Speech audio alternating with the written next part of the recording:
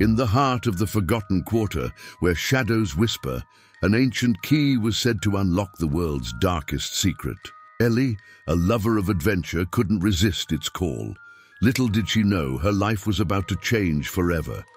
She examines the key under a light, and she discovers that the key is engraved with a cryptic symbol that resembles an eye. The Eye of Erebus, they called it, named after the god of darkness. Ellie's heart raced as the symbol matched the one on an old town map, pointing to an abandoned mansion. After a long search, she finally found the mansion and approaches it. The key was burning in her pocket. She pushes open the heavy doors.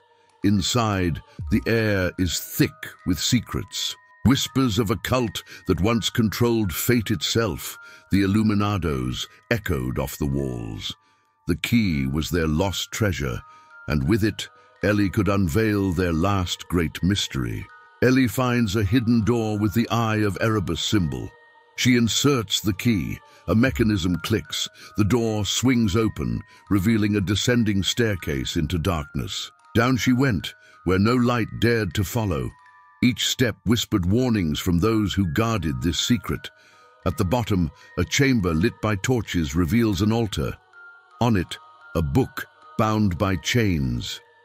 Ellie, heart thundering, unlocks the book with the key. The chains fall away.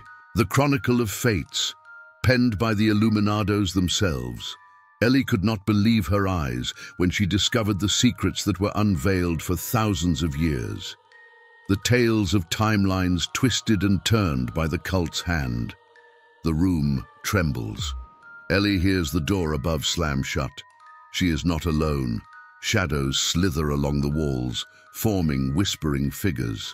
The Illuminado's spirits appeared, hungry to reclaim their key. Ellie, now the keeper of the key and the fates, faced a choice, forget the key and run, or embrace the darkness to rewrite her destiny. Ellie clutches the key in her hand. The shadows advance. In the chronicles of the forgotten key, some doors can never be closed again so Ellie will remain forever in the shadows. Choose wisely.